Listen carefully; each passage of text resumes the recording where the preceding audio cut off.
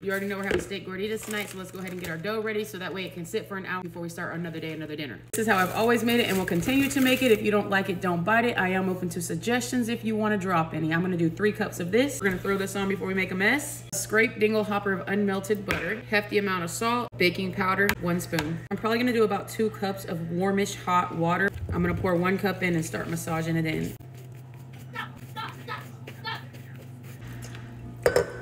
We're gonna do a second cup. Keep folding, mixing, and kneading it up. If you measure with the onion goggles and you think you might need a little bit more water, put a little bit more in there, but not too much.